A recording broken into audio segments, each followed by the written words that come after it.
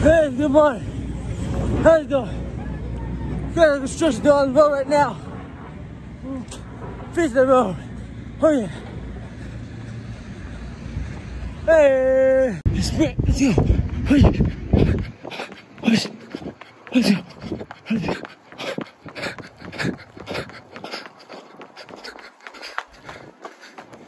Hey, go. Hello. Let's go. Hey. Hey.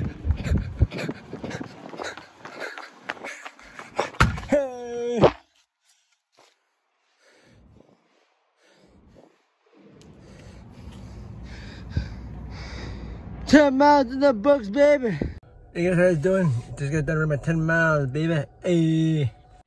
Yeah, so this is in Nasukawa Tenshin, who uh, will not be fighting kickboxing anymore, from what I'm told. So I think he's gonna become a professional boxer.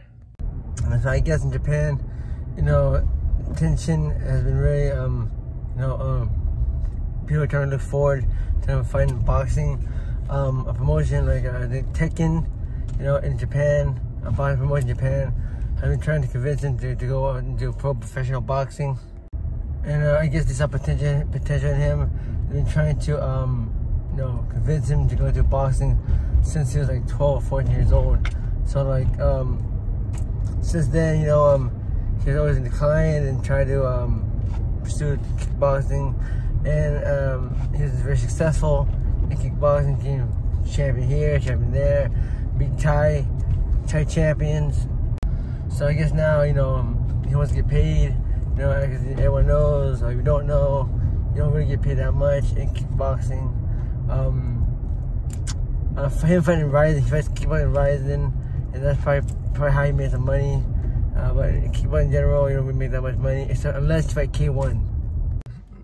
So, um, I guess after his Floyd Mayweather match, he, he, thought he did pretty well, so he thinks he can go um, into professional boxing and hangs with the, the, the likes of like, you know, who, who is it? Like, George Linares, George, La George Linares, uh, Theo, uh, Teofimo Lopez, was it, uh, is it, uh, Lomachenko.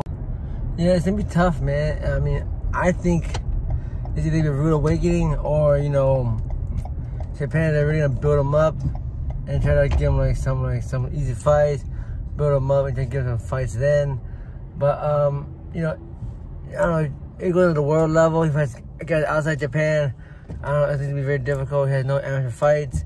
And I think um, the amateur background really helps your confidence. I mean, don't get me wrong, he's a dope kickboxer, but kickboxing, boxing, it's not the same.